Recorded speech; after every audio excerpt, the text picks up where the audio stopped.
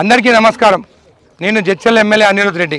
ఈరోజు బాలనగర్ మండలం బాలనగర్ గ్రామంలో survey number one one eight ముందు మనం నిలబడి ఉన్నాం ఎలక్షన్స్ ముందు నేను ప్రచారం చేసేటప్పుడు బాలనగర్ ప్రజలు నా దగ్గర రావడం జరిగింది రైతులు రావడం జరిగింది.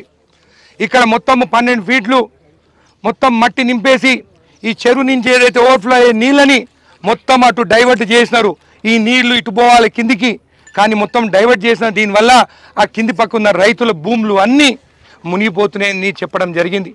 ఆ రోజు యాక్షన్ తీసుకోమంటే అధికారులు యాక్షన్ తీసుకోలేదు. అప్పుడప్పుడే అన్ని పర్మిషన్స్ ఎలక్షన్స్ ముందు వాళ్ళకి ఇష్టారాజ్యంగా పర్మిషన్స్ ఇవ్వడం జరిగింది. ఒకటి ఇరిగేషన్ డిపార్ట్మెంట్. ఇరిగేషన్ డిపార్ట్మెంట్ ఈ కాలువ అంతా బాగానే ఉన్నది అని చెప్పి రిపోర్ట్ ఇచ్చి పర్మిషన్ ఇవ్వండి అని చెప్పేసి ముడా కమిషనర్కి వాళ్ళు ఇవ్వడం జరిగింది. దాని తర్వాత రెవెన్యూ డిపార్ట్మెంట్. ఇది అసైన్డ్ భూమి. ఈ భూమిలో వైకుంఠధామం కట్టిండు దానికి శంకుస్థాపం కూడా అప్పుడున్న మాజీ ఎమ్మెల్యే లక్ష్మారెడ్డి శంకుస్థాపం చేసిండు వైకుంఠ ధామం కూడా కట్టినారు. మీ ప్రింట్ మీడియాలో కూడా ఇది రావడం జరిగింది. మీరు చూస్తే రెండు వేల తొమ్మిదిలో ఇది గూగుల్ మ్యాప్. దీంట్లో క్లియర్గా ఉన్నది నీళ్ళు ఎక్కడి నుంచి పోతుందనేది. ఇది రెండు వేల పంతొమ్మిది. దాని తర్వాత రెండు వేల ఇరవై ఒకటిలో ఇది చూస్తున్నారా పెద్ద చెరువు? ఈ చెరువు నుంచి నీళ్ళు ఇక్కడి నుంచి పోతుందన్నట్టు క్లియర్గా మ్యాపింగ్ ఉంది. దాని తర్వాత రెండు వేల ఇరవై రెండులో చూడండి వైకుంఠ ధామం కూడా ఇక్కడ కట్టినట్టు క్లియర్గా గూగుల్ ఎర్త్ మ్యాప్లో మీకు క్లియర్గా కనిపిస్తుంది. రెండు వేల ఇరవై రెండులో అప్పుడే జరిగింది ఇక్కడ. మొత్తము మీరు చూస్తే చెరువు కింద ఇదంతా మట్టి నింపేసి ఈ కాలువని ఇట్లా స్ట్రేట్గా పోయేదాన్ని మొత్తము ఇటు పక్కకి డైవర్ట్ చేసి ఇది ఇదే ఈ కట్ట వేసి మొత్తం డైవర్ట్ అటు పక్క చేయడం జరిగింది. నేను ఎమ్మెల్యే అయిన తర్వాత కంప్లైంట్ ఇవ్వడం జరిగింది.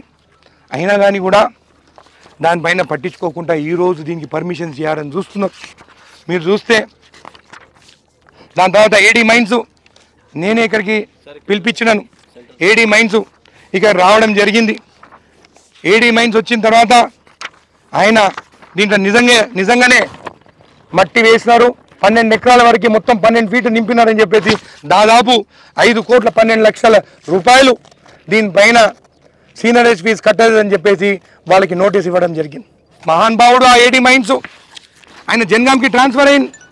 ట్రాన్స్ఫర్ అయ్యే రెండో రోజు ముందు ఆయన ఏమని ఆర్డర్ ఇచ్చిండంటే ఇక్కడ మట్టి అంట ఇదే భూమిలనంట తవ్వి పద్దెనిమిది ఎకరాలకి ఈ పన్నెండు ఎకరాలకి ఇక్కడనే తవ్వి పన్నెండు ఫీట్ల మట్టేసిండంట ఏంది ఇది?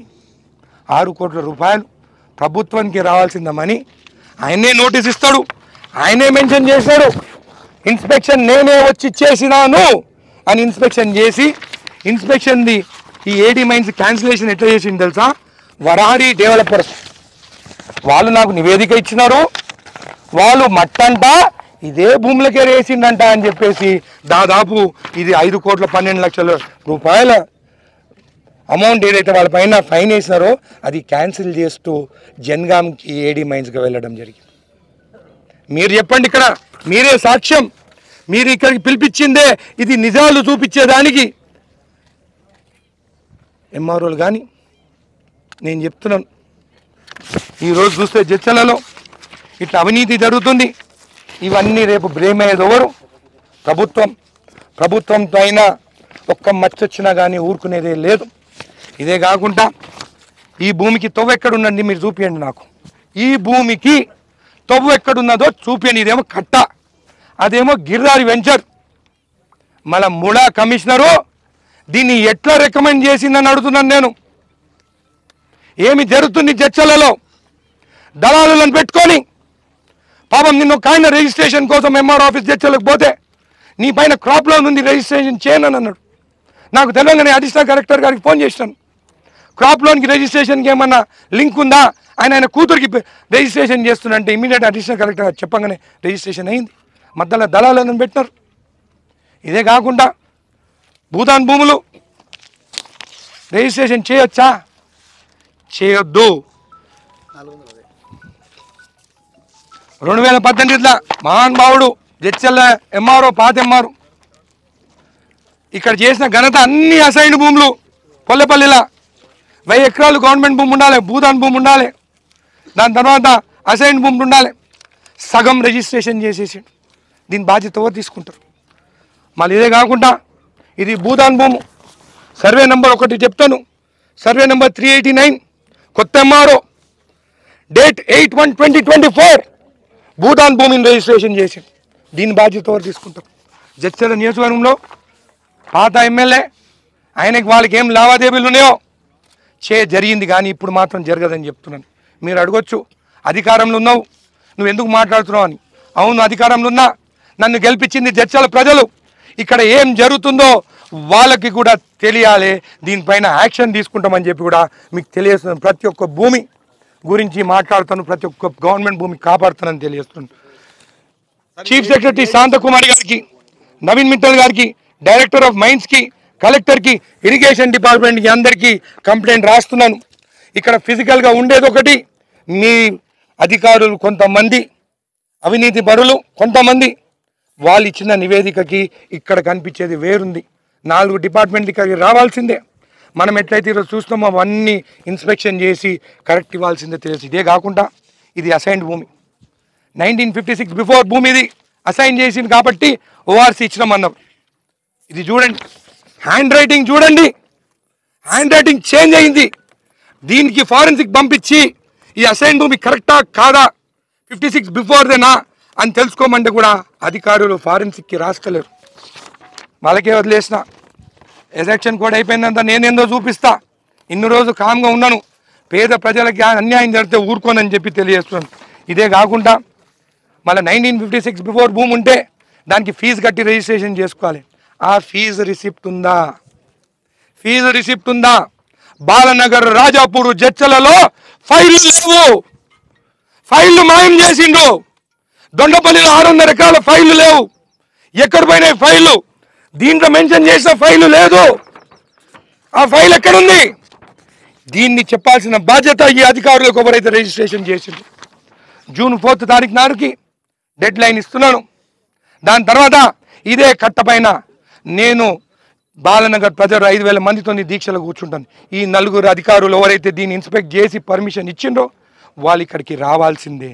వచ్చి బాలనగర్ ప్రజలకి ఎట్లా పర్మిషన్ ఇచ్చిందో వాళ్ళు చెప్తే బాలనగర్ ప్రజలు ఒప్పుకుంటే నేను ఒప్పుకుంటాను అని చెప్పి మీకు తెలియజేస్తున్నాను. ప్రతి గ్రామంలో ఇదే పరిస్థితి. సీఎం గారు చెప్పినారు ఇలాంటివి ఏవి జరిగినా కానీ కఠిన చర్యలు తీసుకుంటామని. పొల్లపల్లిలో గవర్నమెంట్ భూములు కాపాడుతాను. ఎవరి కోసం గవర్నమెంట్ భూములు? రేపు మీ ప్రజలు మీ పిల్లల కోసం భూమి లేని వాళ్ళకి ప్లాట్లు ఇస్తాము మీకోసం కొట్లాడుతున్నాను. దానికి ఈరోజు బీఆర్ఎస్ వాళ్ళు ఇది వరారి ఇన్ఫ్రాస్ట్ర కంపెనీ రైతులకు అన్యాయం చేస్తుంది పోలీస్ స్టేషన్లో నా పైన కంప్లైంట్ చేస్తారు. పిచ్చి ఉందా? Infra company. అయినా కానీ ఎవరిదైతే ఏంది? భూమి అయితే గవర్నమెంట్ భూమి. కాలువలు తవ్వినారు. మార్చినారు గురించి నేను మాట్లాడుతుంటే పాపం వాళ్ళ వెనకాలన్న బీఆర్ఎస్ కార్యకర్తలకు తెలియదు. ఆ నాయకుడి కోసము ఆయన భూదందాల కోసం పోలీస్ స్టేషన్ పోయి నా మీద కంప్లైంట్ ఇచ్చి నేనేం చేసిన? ప్రింట్ మీడియా ఎలక్ట్రానిక్ మీడియాని కట్ట మీదకి పిలుస్తాను అంతే. నిజాలు చూపించేదానికి. నేనేమైనా తప్పు చేసినా ఒక ఎమ్మెల్యేగా నా బాధ్యత ఈ గవర్నమెంట్ భూములు కాపాడడం. కాబట్టి ప్రింట్ ఎలక్ట్రానిక్ మీడియా మీకు అందరినీ కూడా కోరుతున్నాను. ఒకప్పుడు పేపర్లో ఇదే భూమి గురించి వైకుంఠధామం కూలగొట్టిన పెడితే ఇదే నాయకుడు. అసలు ఆయనకి ఈ భూమికి ఏం సంబంధం ఉంది? ఆయన ఎందుకు పోలీస్ స్టేషన్ పోయినాడు? ఆయన భూమా ఆయన బినామీ భూమా ఆయన చెప్పాలి. ఆ నాయకుడు ఎవడో? ఆయన ఎందుకు వస్తున్నాడు? భూమి ఉన్న వాళ్ళైనా రావాలి పక్కనున్న రైతులన్నా రావాలి. ఈ ముప్పై కార్లు వేసుకున్న బీఆర్ఎస్ నాయకులు పోలీస్ స్టేషన్ ఎందుకు పోయిందని కూడా ఆ జవాబు కూడా వాళ్ళు ఇవ్వాలి. ఈ కాల్వ మార్చలేదని కూడా వాళ్ళు జవాబు చెప్పగలుగుతారా? ఎవరు ఈ ఓనర్ శేఖర్ రెడ్డి? ఈ శేఖర్ రెడ్డి బినామీ ఎవరికి బినామీ? అది కూడా రాజాపూర్ బాలనగర్ మండల్ ప్రతి ఒక్కరికి తెలుసు. ఈ పోరాటం ఈరోజు నుంచే షురు అయింది ఎలక్షన్ కోడ్ అయిన తర్వాత ప్రతి గ్రామానికి వెళ్తాను. ప్రతి గవర్నమెంట్ భూమి అక్రమంగా రిజిస్ట్రేషన్ అయితే వాళ్ళపైన చర్యలు తీసుకుంటాము. ఆ భూములపైన బోర్డులు పెట్టించి ప్రభుత్వానికి అప్పచెప్తానని చెప్పి కూడా మీకు తెలియజేస్తూ సెలవు తీసుకుంటాను ఎస్ ఒకటి చెప్పాలనా? నేను అధికారంలో ఉన్నాను. మా ప్రభుత్వం వచ్చింది. మేము కాపాడాలి. కంప్లైంట్ ఇస్తున్నా అని చెప్పిన ప్రజలకి చెప్పాల్సిన బాధ్యత మీకు మాకుందా లేదా జరిగింది. ప్రజలకి తెలవాలి. ఏం జరుగుతుందని. నేను ఇంట్లో కూర్చొని ఇవన్నీ పర్మిషన్స్ వస్తే అరే పాతెమ్మాలో కింది నుంచి తీసుకున్నారు ఈ అనిరుద్ధ రెడ్డి కూడా కింది నుంచి తీసుకొని పర్మిషన్ ఇచ్చిన చెప్తారు. ఈ రోజు ఈ బాధ్యత ప్రజలపైన పెట్టేసిన. నేను కూడా వాళ్ళతో ఉన్నా. ఇవన్నీ ఏం జరుగుతున్నాయో వాళ్ళకు కూడా తెలవాలి. ఎవరు ఏం చేస్తున్న వాళ్ళకు కూడా తెలవాలి. అవన్నీ తెలిసేదానికి నా ప్రజలు నన్ను గెలిపించిన ప్రజలకి చెప్పే బాధ్యత నాది. నేను వాళ్ళకి ఖచ్చితంగా ఏది జరిగినా కానీ అవినీతి వాళ్ళకి చెప్తాను. ఉంది. అందుకే కదా? చర్యలని నేను సస్పెండ్ చేయలేను కదా? ఎస్ ఎస్ చీఫ్ సెక్రటరీ గారికి రెవెన్యూ సెక్రటరీ గారికి ఇరిగేషన్ డిపార్ట్మెంట్కి కలెక్టర్ మహబూబ్ నగర్కి అందరికీ క్లియర్గా ఆధారాలతో సహా పెట్టినాను. ఇప్పుడు చర్యలు వాళ్ళే తీసుకోవాలి. వాళ్ళు ఖచ్చితంగా తీసుకుంటారు చర్యలు. దీనిపైన ఆరు కోట్ల రూపాయలు ప్రభుత్వానికి నష్టం చేస్తే ఊరుకుంటారా? దీనిపైన ఖచ్చితంగా వాళ్ళు చర్యలు తీసుకుంటారని నమ్మకం ఉంది. లేకుంటే జూన్ ఫోర్త్ తర్వాత నేను చేసేది చేస్తాను.